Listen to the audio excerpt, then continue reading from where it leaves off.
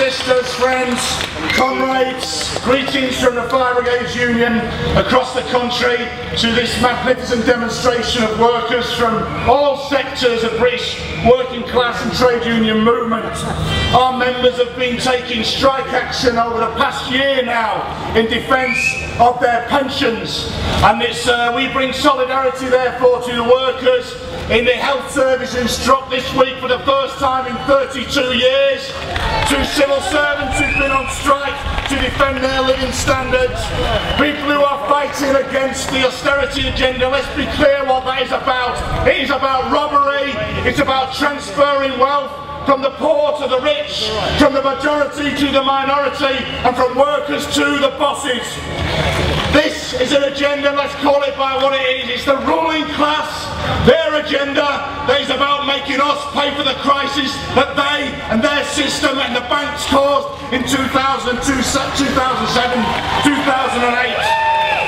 They tell us there is no money. They tell us there is no alternative. It is an utter lie. They wage a nasty war on the poor, on people with disabilities, on people on benefits, on people who are unemployed. Well, what about corporate welfare? What about the subsidies that are provided to private landlords and to big business and to the banks? That's where we should focus 85 billion pounds a year in corporate subsidies. And when they say there is no alternative, it is an utter lie. Instead of subsidising private landlords, we should build public homes for people to live in. Instead, instead of subsidising the railway companies, we should take over the railways and run them as a public service. Instead subsidising the thieving energy companies, we should take them over and run them as a public service. Instead of subsidising and bailing out the banks who caused this mess in the first place, we should take them over and run them as a public service. That way we would end corporate leeching of the majority, we would end big business spongers, we would end benefit cheats, and we would place the blame for this crisis where it really lies with those at the top, with big business, the billionaires and their system.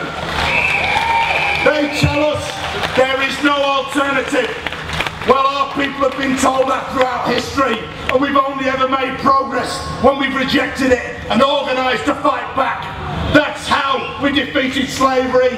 That's how we won the right to be in unions. That's how we won the vote. That's how women won the vote, by getting organised and fighting back. And that is the chance before us today. They tell us there is no alternative.